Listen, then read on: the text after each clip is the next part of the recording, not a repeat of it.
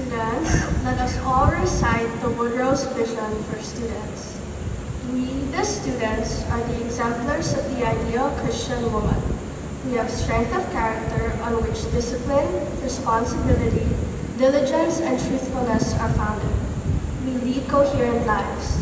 We are the protagonists of our own learning. By pursuing excellence in everything we do, we actualize our unique potentials.